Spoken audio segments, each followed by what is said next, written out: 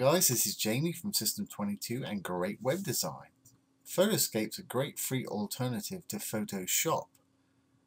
In this video we'll show you how to highlight your text over an image. We've actually built some slider images and the text doesn't stand out enough so we'll fix that. And uh, immediately I can see a problem there. I'm sure you can too but I'll show you how to get around that. Yep, yep, the pictures look fine. They're loading fine but I do see an issue and the issue is that our uh, white writing here is just not standing out well enough. Um, you can see it but it's kind of merged into the background there and we really don't want that.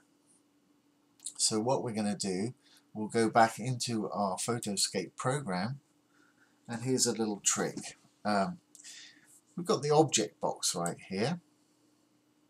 And so what we can do is just add a, a square box in the background with a black color. And we want to bring the opacity or opacity down to a reasonable level where we can actually see through. So let's just draw a test square here.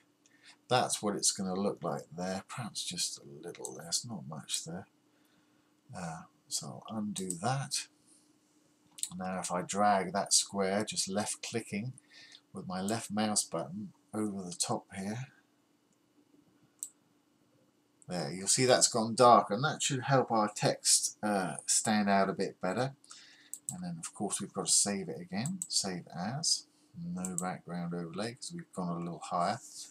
And uh, that's this picture right here, so we're going to call it slide 3 and it should prompt us for an override. Yeah, do you want to replace it? Yep, sure do.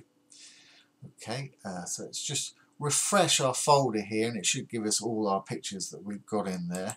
Uh, but I just refresh to make sure that it is up to date, uh, which it seems to be. Oh, perhaps not. Let's look here. Let's refresh that one more time. There we have it. Okay, and let's get slide one up again. That's too light. Uh, the square again and it looks like it saved our settings let's do the same settings. You don't have to you can have custom settings on each photo it doesn't matter. Again we want to save it as uh, the original which was this picture right here slide one. Yep we want to replace it. Okay and do the same th thing for number three which is actually slide 2 there. Uh, click on our little square, it's black, we've got the right amount of opacity. Bingo, I'm hoping that's going to be dark enough, we'll find out very shortly. Save it again, no background, uh, save, surprised it didn't ask us about overwriting there. Let's have a look. Let's have a look at our, uh, our theme and see if it's changed. There's the original that we still got up here. Let's see if we refresh. And there we have it. We've got the dark overlay there.